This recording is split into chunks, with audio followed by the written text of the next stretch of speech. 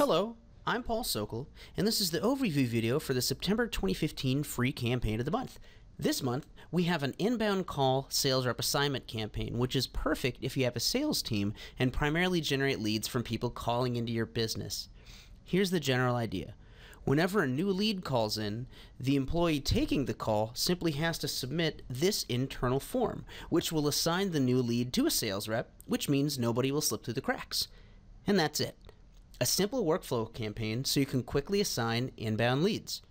Also, this campaign is 98% ready to go out of the box. After installing it, all you have to do is tell the campaign who is the backup sales rep in case someone accidentally doesn't get assigned, then publish the campaign. From there, it's as simple as submitting this form the next time a new lead calls in. Let's dig in a little more. The campaign starts when an employee submits this internal form. It contains basic contact information, a dropdown for the sales rep that should be assigned the lead, and even an optional text area for some details that they might need to know when following up.